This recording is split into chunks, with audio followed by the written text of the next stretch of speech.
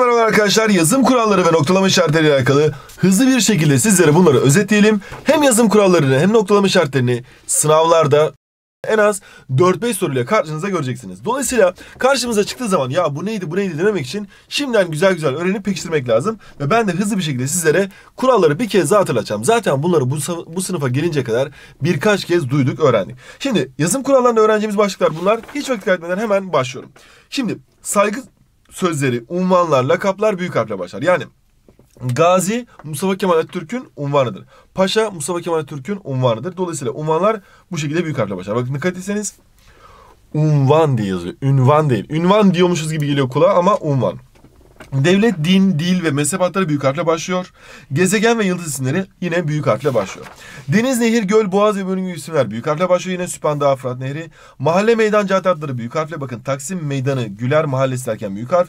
Kurum, kuruluş adları yine büyük harfle. Türk Tarih Kurumu, Türk Dil Kurumu. Türk Dil Kurumu nun dediğimizde kesin işaretiyle ayrılmayacağız. Onu da birazdan söyleyeceğiz. Bayram isimleri büyük harfle. Kurban Bayramı, Cumhuriyet Bayramı. Yapı adları da yine Sivas Kalesi, Kız Kulesi büyük harfle. Akrabalık bildiren sözcükler küçük harfle olması lazım. Yani Burcu ablam derken Burcu eğer gerçekten ablanızsa, Ayşe gerçekten teyzenizse küçük harfle yazıyorsunuz. Özel isimlerden sonra gelen tür adları Van kedisi, Giresun fındığı küçük harfle. İl, ilçe, kıta, köy adları yine küçük harfle başlaması gerektiğini unutmamız gerekiyor. Bitişik yazılan birleşik sözcüklere baktığımızda Güneydoğu, Kuzeydoğu, Güneybatı gibi ara yönler hep bitişik yazılıyor. Birkaç, birçok, hiçbir sözcükleri bitişik yazılıyor. Ama bakın dikkat edin mesela birazdan göreceğiz. Pek çok ayrı yazılıyor. Kurallı birleşik fiiller alabilirim, yapabilirim, gide dur, işte sevebilir, e, düşe yazdı, işte e, süre gelir gibi ifadeler hep kurallı birleşik fiildir ve bunlar bitişik yazılıyor. Ev, hane sözcüğüyle oluşturulan sözcükler hep bitişik yazılıyor. Huzurevi, işte dershane, eczane, hastane bunlara bitişik yazılıyor. Ses düşmesi ya da türemesi olan birleşik eylemler. Sabır ettim bakın ı düşmüş. İşte şükrettim, zikrettim, fikrettim. İşte arz, e, arz ettim olmuyor. Arz ettim ayrı yazılıyor. Başka ne olabilir? Zannettim, affettim. Bunlar hep bitişik yazılıyor. Ama hak etti, terk etti, park etti, mutlu etti. Bunlar hep ayrı yazılıyor. Ayrı yazılan birleşik sözcüklere baktığımızda şey sözcüğü daima ayrı yazılıyor. Her şey, bir şeyi hep ayrı yazıldığını bilmemiz lazım. İkilemeler peş peşe art arda, el ele, göz göze, diz dize hep ayrı yazılması gerekiyor. Ses düşmesi ya da türemesi olmayan birleşik sözcükler. Az önce söylediğimiz terk etti, hak etti, fark etti bunlar hep ayrı yazılıyor. Bakın fark ettiği şöyle yazalım ki farkı fark edin diyelim arkadaşlar. Her sözcüğü herhangi hariç hep ayrı yazılıyor. Her an, her şey, her olay, her gün hep ayrı yazılıyor. Ama herhangi bitişik yazılıyor. Hatta herhangi bir şey yazalım ki şimdiden sınavlarınıza karşınıza çıkarsa rahat rahat doğru yapın. Bilimi bilgi sözleriyle kurulan gök bilimi, dil bilgisi mesela dil bilgisi mutlaka ayrı yazılıyor arkadaşlar. MİKD'nin yazımına baktığımızda, MİKD'nin yazımına baktığımızda şunu bilmemiz lazım. D cümleden çıkarılabiliyorsa ayrı, cümleden çıkarılamıyorsa bitişik yazılıyor. Gel sinirlenme diyebiliyorsun. Gel de sinirlenme diyebiliyorsun. Bu bağlaç sözcük ayrı yazılıyor. Telefonuma ev kalmış diyemiyorsun. Telefonum evde kalmış demen gerekiyor. Bitişik yazılması gerekiyor. Bunu da bilmemiz lazım. Kuralımız bu. Atabiliyorsan ayrı, cümleden çıkarabiliyorsan ayrı. Cümleden çıkaramıyorsan bitiş yazılıyor. Burada en çok şuna dikkat edin tabii ki. Söyledikleri mesela söyledikleri hiç de inandırıcı değil dediği zaman burada hiç D yokmuş gibi duruyor ama çok dikkatli bakarsanız burada hiç D demek istiyor ama T'yi böyle ünsüz benzeşmesiyle birleştirdiği için gözünüzden kaçabilir. Kaçmasın. Söyledikleri hiç D inandırıcı demesi lazım. Yani cümlenin doğru yazılmışı hiç D olması lazım. Ve hatta bu olayda her iki taraf ta derse hayır her iki taraf da hata yaptı dememiz lazım. Ee, her iki taraf da hatalıydı diyorsunuz ya mesela böyle bir cümle var. Burada yine yazım yanlışı var. Niye? Çünkü her iki taraf da olması lazım. Her iki taraf da diye ayrılmış olması lazım. Şimdi devam edelim. Ki'ye baktığımızda ki'nin sonrasında lereki getiremiyorsak, lereki getiremiyorsak bu bu sefer ayrı yazılıyor. Ama lereki getirebiliyorsak bu sefer bitişik yazılıyor. O zaman lereki geliyorsa bitişik. Lereki gelemiyorsa ayrı bak. Duydum kiler diyebiliyor muyuz? Diyemiyoruz. O zaman bit ayrı yazılıyor. Evdekiler diyebiliyor muyuz? Diyebiliyoruz. O zaman bitişik yazılıyor. Tabii ki sanki, oysa ki, halbuki, meğer ki, eğer ki, e, çünkü gibi şeyler hep bitişik yazılıyor. Orası ayrı. Mi e, hep ayrı yazılıyor. Neden beni dinlemiyorsun? Beni neden dinlemiyorsun dediğimizde buradaki olumsuzluk iki. Bu, sakın karıştırmayın ama Ahmet bize gelecek mi dediğimizde şirin mi şirin bir çocuk, güzel mi güzel bir ev dediğimizde bu mi hep ayrı yazılıyor. Büyük harfle yapılanlarda şuna dikkat etmemiz lazım e, kısaltmalarda. Mesela büyük harfle yapılanlarda kısaltmanın açıklamasına göre geliyor. Yani TDK'nin, THY'den, TÜBİTAK'ın, NATO'dan diye ayırmamız gerekiyor. Ama küçük harfle yapılanlarda okunuşuna göre. Okunuşuna göre. Yani açık açılımı mesela. Kilogramdan santimetre yi. İngilizce yi dememiz gerekiyor. Burada ise büyük harflerle yapılanlarda e, okunuşuna göre değil de kısaltılmış kısaltılmış haline göre ekleri getiriyoruz. Kısaltılmış haline. TDK nin diyoruz. Sayıların yazımına baktığımızda sayılar daima ayrı yazılıyor. 18 yaşına gir dediğimizde 18 ayrı yazılacak. Sıra sayılı rakamla da yazılabilir. İkinci, ikinci diye de yazabilirsiniz. Böyle de yazabilirsiniz. Burada şuna dikkat etmeniz lazım. 1, 2, 3, 4, 5, 6, 7, 8, 9 dediniz ya. 1 inci diyorsunuz. 3 üncü diyorsunuz. 4 üncü diyorsunuz. 5 inci diyorsunuz. 8 inci diyorsunuz. 9 uncu diyorsunuz. Ama ama 2'de sonu i ile bittiği için 2 inci değil nc diyorsunuz. 6 i ile bittiği için 6. 7 inci demeniz gerekiyor. Buraya dikkat edin. Morla yazdıklarım sizi zor duruma sokmasın. Üleştirme sayıları sadece yazıyla yazılıyor. İkişer doğru ama ikişer diye böyle yazarsanız skandal. Çekil senetlerde sayılar daima bir yazılıyor. Burada şunu da söyleyelim. Sayıların sonuna gelen ekler açısından 1, 2, 3, 4, 5, 6, 7, 8, 9 dediğimizde. Şimdi 1D diyoruz, 2D diyoruz, 6D diyoruz, 7D, 8D, 9D. Ama 3, 4, 5'te bir durum var. 3T diyoruz, 4T diyoruz, 5T diyoruz. Çünkü burada ünsüz sertleşmesi var. Bunu da bilmemiz lazım. Şimdi buna dikkat edelim. Tarihlerde 29 Ekim salı dediğimizde bunları büyük harfle yazmamız lazım ama haftaya salı dersek bu küçük yazılabilir. Veyahut da 12 12 10 2019 dediğimizde veya 12 Ekim 2019 dediğimizde veya 12 12 2019 dediğimizde bu şekilde yazabiliriz. 1919 yılının Mayıs ayı dediğimizde M'yi büyük yazıyoruz ama geçtiğimiz Mayıs ayı dediğimizde M'yi küçük yazıyoruz. 20 Kasım dediğimizde K'yi tabii ki büyük yazıyoruz sayı olduğu için. Sorular karşımıza nasıl gelecek? Bir parça verecekler ve hangisinin yazımı yanlış diyecekler rahat rahat bulacağız. Mesela bir tane soruyu bakalım. 1969 yılında Güzel Sanatlar Akademisi'ni bitirdim. Resim yapmaya karikatürist olarak başladım. Çiziklerimi 10 liraya satardım. Dolmuş, Tef, Pardon gibi dergilere, ilk e, satardım dergilere. Şurada o zaman şey yok. İlk sergi 1959 yılında Taksim Meydanı diyor. Aa Taksim Meydanı'nın M'si büyük olması lazım. Buradaki hatayı şak diye görebildim. Özel adı dahil olmayan dergi, gazete adları ise küçük harfle yazılması gerekiyor. Milliyet Gazetesi'nin, Türk Dili Dergisi'nin D'sini küçük yazacağız. Para birimleri büyük harfle başlamaz. Lira, kuruş, dolar. Özel adlar yerine kullanılan o zamiri büyük harfle başlamaz. Kurtuluş Savaşı'nın kahramanıdır o dediğimizde bu şey. Sadece Allah'ı anlatmak istediğimizde o her şeyi yaratandır dediğimizde tabii ki o'yu büyük yazacağız. Geldik noktalama işaretlerine. Burası önemli. Mesela bir örnek soru yazalım. Bunu beraber bununla çalışalım. Bu olayda bu olayda her iki tarafta haksızlığını e, kanıtlayamadı dediğimizde burada bir yazım yanlışı var. Nasıl? Şimdi dikkat dinleyin.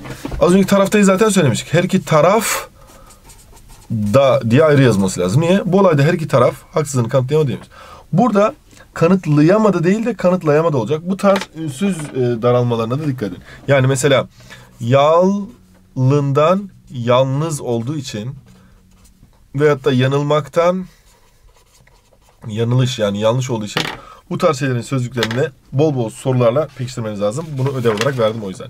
Şimdi geldik noktalama işaretlerine. Nokta, noktalı virgül, üç nokta bunların hepsini beraber göreceğiz. Cümlenin sonuna konuyor. İşte en çok zor çıkanı noktalı virgül virgülün daha karizmatiği iki nokta açıklamalardan önce geliyor. Üç nokta bitmemiş cümlelerde kesme işareti, soru işareti, kısa çizgi, ünlem işareti, tırnak işareti bunların hepsini güzel güzel öğrenelim şimdi. Nokta tabii ki cümlenin sonuna gelecek. Bazı kısaltmalardan sonra nokta geliyor. Sayılardan sonra sıra bildirmek için gelebiliyor. Tarihlerin yazımına geliyor. Saatlerin yazımına geliyor. Saatlerin yazımı kısmına dikkat edin. Şöyle hatta bunu dijital saat örneği üzerinden gösterelim. Mesela 12.30 böyle yazmış ya. Normal siz dijital saate baktığınızda 12.30 şöyle gözüküyor değil mi? Siz de ister istemez aa hocam 12.30 böyle yazılmaz mı diyorsunuz. 12 30 yazılır diyorsunuz. Skandal. Sakın böyle bir şey yapmayın. 12.30 öyle saatte gözükse bile sizin yazmanız gereken şekil budur. Bunu da iyi bilin arkadaşlar. Virgüle baktığımızda en fazla buradan soru gelir. Bunu yazalım. En fazla soru burada. Bunu da bilelim. En fazla soru burada. Eş göreli kelimelerin arasında virgül kullanıyoruz. Ağaçlar, dereler, dağlar, bayırlar. Sıralı cümleleri ayırırken kullanıyoruz. Ara sözlerin başına ve sonuna kullanıyoruz. Annem en değerli varlığımdır. Annem sağdaki en değerli varlığımdır derken kullanabiliyoruz. Red ve kabul bildiren evet, hayır, yok gibi sözcüklerden sonra. Peki öyle olsun dediğimizde virgül kullanabiliyoruz. Cümlede arda arda gelen zarf ile almış kelimelerden sonra hızla gelip eşyalarını toplayarak yola çıktı bak. Hızla gelip dediğince sadece hızla gelip yola çıktı dese buraya virgül konmaz ama hızla gelip eşyalarını toplayarak bak birinci zarf fiil bu da ikinci zarf fiil o yüzden kullanıyoruz. Nerelerde kullanılır bakalım. Yüklemden uzak düşen özden sonra. Ali dün arkadaşlarıyla beraber toplandıktan sonra dışarı çık gitti dese Ali ile özne arasında çok büyük uzaklık var. O yüzden burada virgül kullanmamız lazım. Tırnak içinde olmayan alıntı cümlelerden sonra yine virgül kullanırız. Erken çıkacağım dedi. Anlam karışıklığı önlemek için. Nazlı ablama çok benziyor mu? Yoksa Nazlı ablama çok benziyor mu? Hitap ifadelerinden sonra efendiler yarın cumhuriyeti ilan edeceğiz derken anlam pekiştirmek için akşam yine akşam yine akşam diyor Ahmet Arşın. Peki virgül nerelerde kullanılmaz? Soru buradan gelir arkadaşlar. O yüzden bu kısma da hemen vurgu yapmak istiyorum. Bağlaçlardan önce veya sonra virgül kullanılmaz. Akşam ben de gelirim ama buraya virgül veya buraya virgül kullanılmaz. Mımi ekinden sonra Ali acıktı mı göz hiçbir şey görmez. Burada virgül olmaz. Şart ekinden sonra birini görecek olsa hemen onun yanına giderdi derken olsadan sonra gelmez. Mesela çalışırsanız virgül kazanırsınız dediğiniz zaman skandal oluyor. Niye? Böyle bir şey yok. Asla kullanılmaması lazım. Burada şu da çok önemli arkadaşlar. Mesela içeri girip çıkıyor. Mesela içeri girip yerine otur dediniz ya. Burada da asla virgül kullanılmayacağını az önce söyledik. Ama şurada virgül olmaz. Niye? Çünkü bir tane zarf fiil. Ama içeri girip yerine oturup kitaplarını çıkarıp e, masaya masada derse başladı dese o zaman aralara virgül koyabilirsiniz.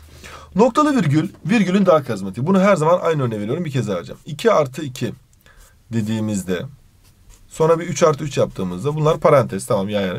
Bunu bir de böyle köşeli paranteze alıyoruz. Bu ne demek? Ben senden daha karizmatik parantez daha buldum yani. Ondan sonra devam ediyoruz. Burada şu anlama gelmiyor mu bu? Yani bu parantezden daha karizmatik bu parantezdir diyoruz. İşte virgülün de daha karizmatiğine biz noktalı virgül diyoruz. O zaman noktalı virgül virgülden daha büyük, daha karizmatik virgül. Virgülle ayrılmış türüye takımları birbirinden ayırırken yani zaten virgül ayrılmış. Mila, kız çocuklara Mila, Yaz, Güneş. Erkek çocuklara Eymen, Alparslan, Kerem adları verir. E daha da ayırmak istiyorum. O zaman burada noktalı virgül koyacağız. Öğeler arasında virgül bulunan cümleleri birbirinden ayırırken. At ölür, virgül, meydan kalır, virgül, yiğit ölür, virgül, şan kalır, virgül. Olmaz. At ölür, meydan kalır, noktalı virgül, yiğit ölür, şan kalır diye ayırmamız gerekiyor. İkiden fazla eşdeğer öğeler arasında virgül bulunan cümlelerde özden sonra. Yeni usul romanımız zevksiz, acemice, köksüz görünüyor dediğimizde özneyi ayırmamız lazım. Veyahut da şöyle düşün mesela. Can, Ali, Cem, Emre ve ee, işte kim olsun Ece'yi çağırdı. Şimdi tamam güzel çağırsın sıkıntı yok da kim çağırdı? Şimdi Can, Ali, Cem e, ne diyorsun ya? Can noktalı virgül Ali, Cem, Emre ve Ece'yi çağırdı deyince ha Can özne olduğu için daha karizmatik orada daha karizmatik bir virgül kullanalım diyoruz. Yani noktalı virgül. İki noktaya baktığımızda kendisiyle ilgili örnek verecek cümlelerin sonuna tabii ki iki nokta koyuyoruz. Bir toplumu üç değer ayakta tutar. Sevgi, güven ve saygı. Buradaki S'yi küçük yazabiliriz bu arada. Burada sıkıntı yok. Üç değer içine buraya nokta koyduk. Ama toplum birçok değer ayakta tutar deseydi buraya üç nokta gelirdi. Ama üç değer için nokta geldi. Özel isim şey iki noktadan sonra illaki büyük harfle başlayacak diye bir şey yok. Küçük harfte başlayabilir. Yani özel isim varsa bir cümle varsa bak meclis katiplerindenin bir cümle. O zaman büyük harf başlar. Eğer bir şey varsa ee, özel isim varsa büyük harfle ancak ancak özel isim yoksa cins isim varsa küçük harfle yazabiliriz. Pardon şuradan atamayalım. Kendisiyle ilgili açıklama verecek cümlenin sonunda edebi eserlerde konuşma bölümündeki ifadeden önce tabii ki önceki ifadenin sonuna yine iki nokta koyabiliyoruz. Burada tekrar söylüyorum iki noktadan sonra küçük harf gelebilir. Yani o e, orada orada çok şey vardı dediğimizde iki nokta koydunuz. Mesela kitap, bak küçük harfle başladım. Kalem, silgi. Çok şey dediği için buraya üç nokta koyuyoruz. Ama orada iki kişi vardı dediniz. Tamam şimdi iki nokta üstüne koyduk. Bir kere kişi olacak, insan olacak. Ali dedi. A'yı büyük yazacaksın tabii ki. Ve Cem dediniz. Tamam. İki dediği için de buraya nokta koyacağız. Aradaki farkı anladınız mı? Eğer cansız varlık olacak küçük harfle başlıyor. Özel isim olursa büyük harfle başlıyor. Eğer iki diye sayısını verirse nokta oluyor. İkisini saydığı için. Çok şey derse devam ettiği için üç nokta oluyor. Diyoruz da geldik üç noktaya. Tamamlanmamış cümlelerin sonunda. Evli evine, köylü köyüne. Açıkça yazılmak istenmeyen kelime veya bölümlerin yerinde. Doktor nokta noktaya yaklaştı dediğimizde üç nokta kullanıyoruz. Kesme işareti özel adlara iyilik durum ve bildirmekleri getirirken Sakarya Savaşı'nın dediğimizde kesme işareti kullanıyoruz. Ama şuna dikkat edin. yapım eki almış sözcüklerde, özel isimlerde kesme işareti olmaz. Yani Ankara'dan diye ayırabilirsiniz. Ama Ankaralı diye ayırdığınız zaman bir skandala imza atmış olursunuz. O yüzden burada Ankaralılardan diye devam etmeniz lazım. Burası cümlenin doğru hali diyebiliriz.